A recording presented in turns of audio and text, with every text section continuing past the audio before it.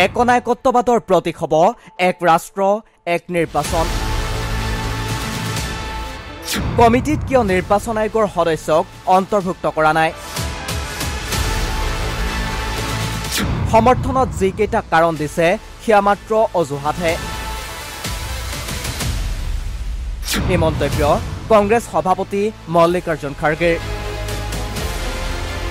মোদী চৰকাৰে গণতান্ত্ৰিক ভাৰতক লাহে লাহে একনায়কত্ববাদলৈ পৰ্যবেক্ষিত কৰিব বিচাৰিছে বুলি মোদী চৰকাৰক কঠোৰ ভাষাৰে সমালোচনা কৰিছে কংগ্ৰেছ সভাপতি মল্লিকাৰ্জুন খাৰ্গে।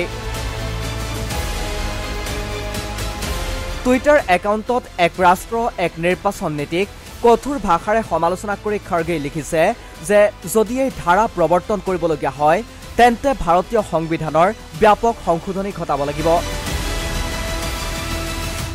ইমান ডাঙৰ এটা সিদ্ধান্ত লওঁতে ৰাষ্ট্ৰীয় আৰু আঞ্চলিক দলৰ লগত আলোচনা কৰিব নালাগিব জানো বুলিও প্ৰশ্ন কৰে খাৰ্গে। ৰাজ্য এখনৰ নিৰ্বাচিত চৰকাৰৰ লগত আলোচনা নকৰাকৈ এইটো সম্ভৱ হ'বনে বুলিও খাৰ্গেই প্ৰশ্ন কৰে। ইয়াৰ আগতে এই এক ৰাষ্ট্ৰ এক নিৰ্বাচনৰ আদৰ্শৰ ধাৰণাটো তিনিখন কমিটিয়ে নাকচ কৰিছিল। অৱশ্যে চতুৰ্থখন কমিটিয়ে ইয়াক গ্ৰাহ্য কৰাৰ মানসিকতাৰে সমগ্ৰ প্ৰক্ৰিয়াটো আগবঢ়াই নিছে বুলিও কঠোৰ ভাষাৰে সমালোচনা কৰে প্ৰাক্তন ৰাষ্ট্ৰপতি ৰামনাথ কোবিন্দ নেতৃত্বাধীন কমিটিখনক। খাৰ্গেই লগতে উল্লেখ কৰে যে সকলোতকৈ আচৰিত কথাটো হৈছে এই কমিটিখনত নিৰ্বাচন আয়োগৰ কোনো এগৰাকী বৰ্তমানৰ সদস্যক অন্তৰ্ভুক্তি কৰা নাই। নিৰ্বাচন আয়োগে দুহেজাৰ চৈধ্য চনৰ পৰা দুহেজাৰ ঊনৈছ চনলৈ অনুষ্ঠিত হোৱা নিৰ্বাচনত মুঠ ব্যয় কৰিছিল পাঁচ হাজাৰ পাঁচশ কোটি টকা। ইয়াৰ ভিতৰতে লোকসভা নিৰ্বাচনৰ ব্যয়ো আছে। তেন্তে নিৰ্বাচন আয়োগে একেলগে নিৰ্বাচন অনুষ্ঠিত হলে এই ব্যয় কিমান কমাব পাৰিব?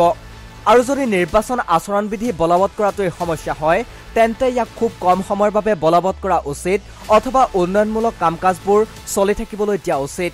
ক্ষমতাৰ বাবে উপ নিৰ্বাচন পতা বিজেপিয়ে দিয়ে খৰচৰ অজুহাত।